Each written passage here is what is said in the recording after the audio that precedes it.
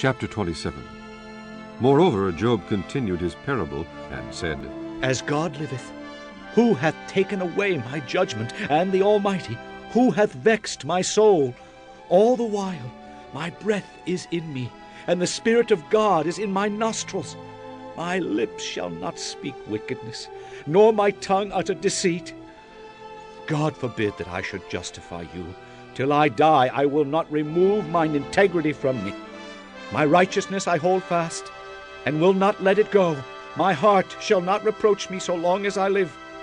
Let mine enemy be as the wicked, and he that riseth up against me as the unrighteous. For what is the hope of the hypocrite, though he hath gained, when God taketh away his soul? Will God hear his cry when trouble cometh upon him? Will he delight himself in the Almighty? Will he always call upon God? I will teach you by the hand of God that which is with the Almighty will I not conceal. Behold, all ye yourselves have seen it. Why then are ye thus altogether vain? This is the portion of a wicked man with God, and the heritage of oppressors, which they shall receive of the Almighty.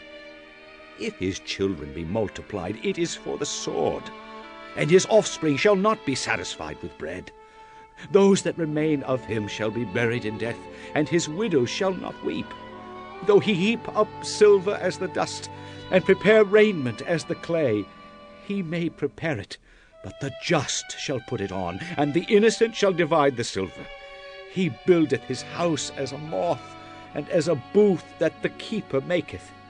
The rich man shall lie down, but he shall not be gathered. He openeth his eyes, and he is not. Terrors take hold on him as the waters a tempest stealeth him away in the night. The east wind carrieth him away, and he departeth, and as a storm hurleth him out of his place. For God shall cast upon him, and not spare. He would fain flee out of his hand. Men shall clap their hands at him, and shall hiss him out of his place.